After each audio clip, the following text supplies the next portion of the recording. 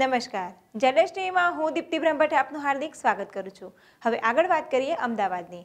અમદાવાદમાં સફાઈ કર્મીઓની હડતાલનો ત્રીજો દિવસ. કર્મીઓએ આંદોલનના સ્થળે જ શરૂ કર્યું રસોડું. અમદાવાદ ખાતે એએમસી સફાઈ કર્મીઓ પણ ખેડૂત આંદોલનના માર્ગે આવ્યા. આજે હડતાલનો ત્રીજો દિવસ છે. ધરણા સ્થળે શરૂ કરવામાં આવ્યું રસોડું. ધરણામાં સામેલ લોકો માટે સ્થળ પર જ જમવાની વ્યવસ્થા કરવામાં આવી. મહિલાઓ દ્વારા શાકભાજી સુધારવાની કામગીરી કરાઈ રહી છે. પુરુષો દ્વારા રસોઈ બનાવવાની કામગીરી શરૂ કરાઈ. રસોડાની તૈયારીઓને જોતા લાંબી લડત ચલવા ચાલવાની સંભાવના પચીસો લોકો માટેના રસોડાની તૈયાર કરવામાં આવી.